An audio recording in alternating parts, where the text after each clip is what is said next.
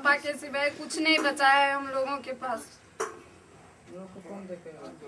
हम लोगों को कौन देखेगा? हम लोग कैसे जी पाएँगे? अगर मेरे पापा को कुछ हो गया तो। अरे पापा को। मैं तीन बहन और एक भाई हूँ। मेरे पापा का दोनों किडनी खराब हो गया है और मेरे पापा पटना अस्पताल में ज़िंदगी और मौत के बीच जूझते हैं। और सारा ज़मीन बेचकर अपने ज़िंदगी में लगाए फिर भी वो ठीक नहीं हो पाए। और अब मेरे पास कुछ भी नहीं बचा है।